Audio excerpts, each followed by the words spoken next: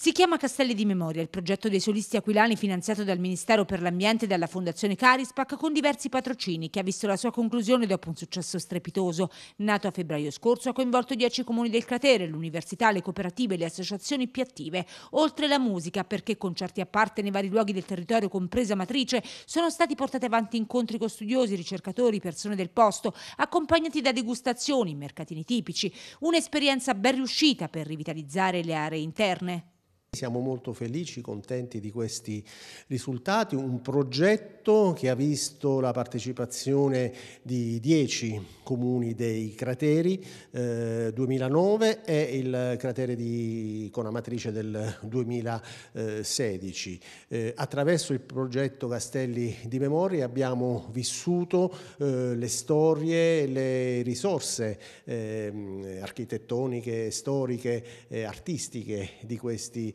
eh, borghi. Abbiamo avuto eh, tanta gente, tanti abitanti, ma soprattutto tanti turisti che hanno partecipato con noi a queste giornate veramente meravigliose.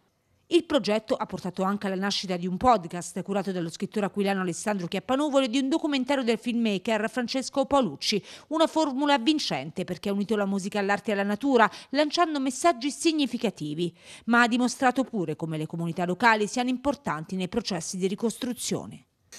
Ma eh, anzitutto bisogna menzionare la disponibilità dei solisti aquilani che hanno deciso di eh, affidarmi la creazione di un podcast che non parlasse solo del progetto Castelli di Memorie, ma che invece potesse essere uno strumento utile non solo per i territori abruzzesi, ma per tutti i paesi, appunto eh, per creare un podcast che potesse essere una cassetta degli attrezzi